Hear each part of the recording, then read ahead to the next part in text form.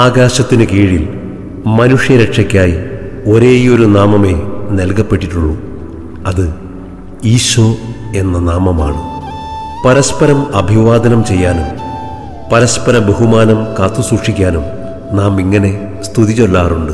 ഈശോ മിഷിഹായിക്ക് സ്തുതിയായിരിക്കട്ടെ. ഇപ്പോഴും എപ്പോഴും സ്തുതിയായിരിക്കട്ടെ.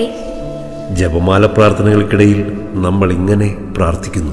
ഈശ്വം ശിഹായുടെ വാഗ്ദാനങ്ങൾക്ക് ഞങ്ങൾ യോഗ്യരാകുവാൻ സർവേശ്വരന്റെ പരിശുദ്ധ മാതാവേ ഞങ്ങൾക്ക് വേണ്ടി അപേക്ഷിക്കണമേ.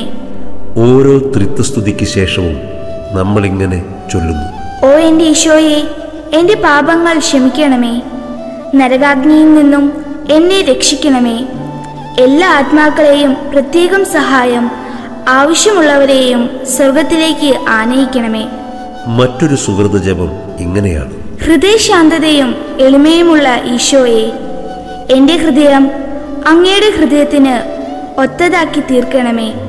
ആത്മാക്കളുടെ രക്ഷയ്ക്കായി നമ്മൾ ഇങ്ങനെ പ്രാർത്ഥിക്കുന്നു. ഈശോ മറിയം യൗസേപ്പെ ഈ ആത്മാവിന് കൂട്ടായിരിക്കണമേ. തിരുഹൃദയ ജപമാലയിലെ പ്രാർത്ഥനാമണികൾ ഇങ്ങനെയാണ്. ഈശോയുടെ മാധുര്യമുള്ള തിരുഹൃദയമേ അങ്ങന്റെ സ്നേഹമായിരിക്കണമേ. കരുണക്കൊന്തയിൽ നമ്മൾ ഇങ്ങനെ ചൊല്ലുന്നു. ഈശോയുടെ അതിദാരുണമായ പീഡാസഹനങ്ങളെക്കുറിച്ച് പിതാവേ ഞങ്ങളുടെ മേലും ലോകം മുഴുവന്റെ മേലും കരുണയായിരിക്കണമേ. ഭവനങ്ങളെ ഈശോയ്ക്ക് പ്രതിഷ്ഠിക്കുമ്പോൾ നമ്മൾ പ്രാർത്ഥിക്കുന്നത് ഇങ്ങനെയാണ്.